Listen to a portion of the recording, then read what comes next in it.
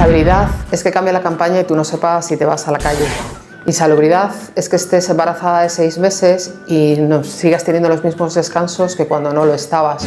Por eso un día decidí organizarme, unirme a la lucha y es la única manera de conseguir que la precariedad desaparezca.